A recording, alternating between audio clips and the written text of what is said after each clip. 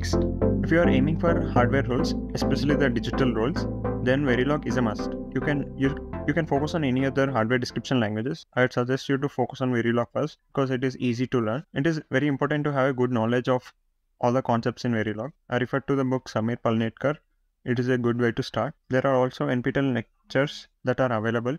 I suggest to watch them only if you have a very long time, but that is not needed. You can just refer to this book, that would be sufficient. You have to practice a lot of questions, that way you will build your concepts. In Verilog, you have to learn how to code for various logics at different abstraction level. So look into the different abstraction level, the gate level modeling, behavioral, and uh, more higher abstraction levels. Verilog questions can be asked in interviews. So you should have a good grip on the, all the concepts and also in the online test. A good project in the Verilog will be definitely helpful. It will add a lot of weight to your resume. So as a tip, you can refer to some good research papers for project ideas and you can directly implement those ideas as a project and keep them in your resume. Coming to the resources for Verilog, Samir Palnitkar book is very useful. So this is a book, a Verilog HDL, a guide to digital design and synthesis. You can download it online and also there is other book a VHDL primer by J. Bhasker and Samir Palnitkar. So this should be sufficient. There are more resources. You can refer to the ASIC World Verilog tutorials. This is also useful.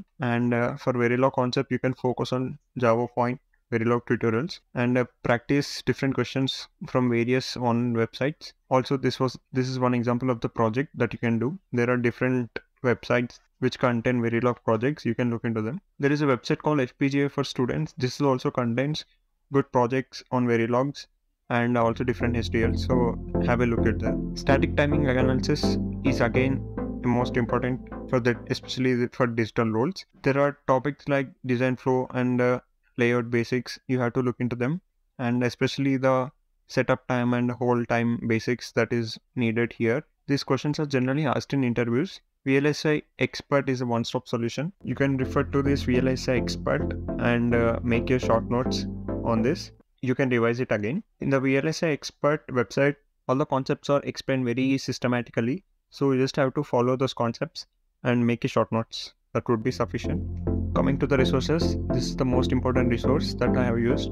VLSI concepts in uh, VLSIexpert.com blog. I think this is the second chapter of the blog. So just focus on the second chapter. That should be sufficient. You can look into this test book by Jan Rabaey and uh, for look into some interview questions from YouTube in static timing analysis. There are different uh, YouTube lectures available. For uh, interviews, focus on uh, what are the different questions that can be asked in static timing analysis. So all these resources you can find from online. There are no specific resource. So just focus on the VLSI expert blog.